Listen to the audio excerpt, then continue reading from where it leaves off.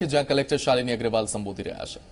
અમારા એસટીપીસ છે, જ્યાં પાણી ભરાઈ ગયા છે, એમને પ્રાથમિક ધોરણે ડીવોટરિંગ કરવામાં આવી રહ્યું છે. અત્યારે ડીવોટરિંગની કામગીરી ચાલુ છે અને એ પાણી પુરવઠાની ટાંકી અને એસટીપીઝને તાત્કાલિક રીસ્ટોર કરવામાં આવશે.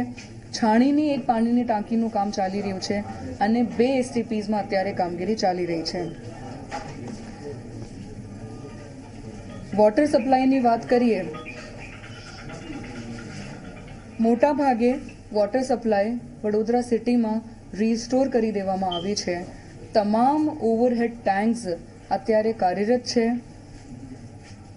પરશુરામ બૂસ્ટર બે ત્રણ દિવસથી વોટર લોકડ હોવાના કારણે બંધ હતું, પણ એ ચાલુ કરી દેવામાં આવ્યું છે. અને આજે સવારે પરશુરામ ભટ્ટાના અડધા વિસ્તારમાં પાણી પુરવઠો પૂરો પાડવામાં આવ્યું છે અને બાકીનું જો અડધું વિસ્તાર છે, ત્યાં પણ પાણી પુરવઠો પાડવાની કામગીરી ચાલી રહી છે અને તાત્કાલિક ટૂંક સમયમાં પૂર્ણ કરવામાં આવશે.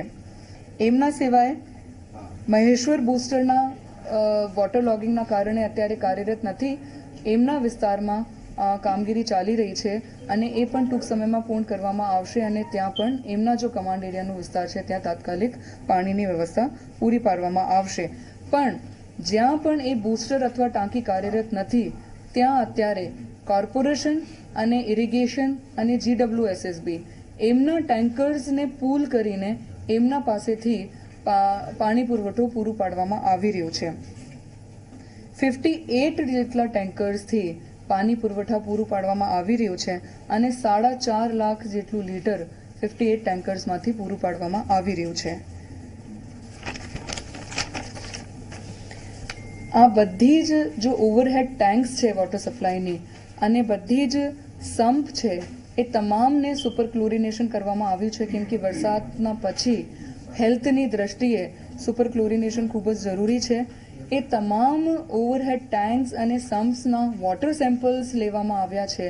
અને આજે બપોર સુધીમાં એ તમામ વોટર સેમ્પલ્સની રિપોર્ટ મેળવી લેવામાં આવશે અને ત્યાર પછી જ્યાં પણ વોટર સેમ્પલનું પ્રશ્ન છે ત્યાં તાત્કાલિક એમના કરેક્ટિવ એક્શનની કામગીરી આજે સાંજે સુધી પૂર્ણ કરી દેવામાં આવશે. વડોદરા શહેરના મુખ્ય રસ્તાઓ પર ઘણા વૃક્ષો પડ્યા હતા અને એમના માટે સતત બે દિવસથી ફોરેસ્ટ અને કોર્પોરેશનની ટીમ્સ મળીને કામગીરી કરી રહી છે હવે મોટા ભાગે મુખ્ય રસ્તાઓના ઝાડો હટાવી લેવામાં આવ્યા છે અને વાહન જો અવર જવર છે એ રીસ્ટોર કરી દેવામાં આવ્યું છે. થોડા ઘણા જ્યાં ઝાડની કામગીરી બાકી છે, એ પણ ટૂંક સમયમાં આ બધી જ ટીમ્સ પાસેથી પૂર્ણ કરવામાં આવશે. એમજીવીસીએલ તરફથી બધા જ ફીડર્સ કાર્યરત કરી દેવામાં આવ્યા છે અને કાલે સાંજે સુધી બસો અડત્રીસ જેટલા ટ્રાન્સફોર્મર્સ બંધ હતા, પણ એ રાત્રે એમના તરફથી કામગીરી કરીને હવે ફક્ત હંડ્રેડ ટ્રાન્સફોર્મર્સ બાકી